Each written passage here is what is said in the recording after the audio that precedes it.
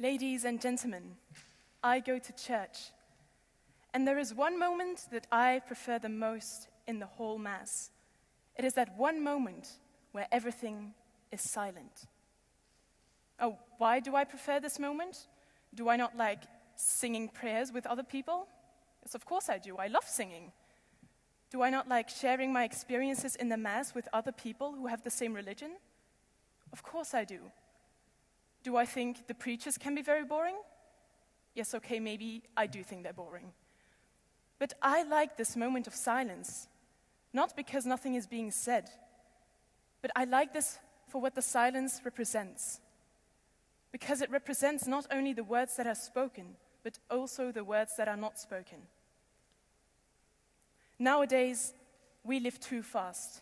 We are always doing something. We have one action after another. We try to do a whole world tour in three months because we have to experience every single culture that we can and as fast as possible because we have so many different things to do. Do we, but do we really experience everything to the fullest like this? No. We don't have the true appreciation for the things happening around us anymore. Let's take concerts, for example. Let me take you to a concert of Beyonce. I go there, and what do I see? Fireworks and people dancing half naked. And when the performer is not there, there's always people dancing to fill the stage and just to keep the audience occupied and interested. Yes, I admit, I like fireworks when I go to concerts. They're very cool. But does that mean they have to be there all the time? What's wrong with just a song on its own, like there used to be? We have to take away the essence of everything nowadays by filling it with fireworks and things like this.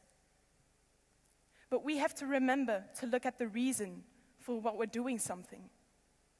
Why are you singing this song? Why are you dancing this dance? Why am I saying these words?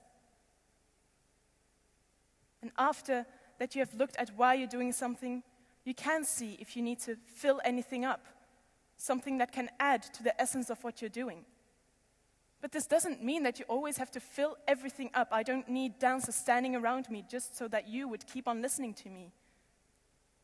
So please, ladies and gentlemen, next time that you do something, like eating a brownie, give it time and do nothing afterwards, just to experience it to the fullest or have the thrill of action afterwards. Because, because sometimes there is just nothing as sweet as the sound of silence. Thank you.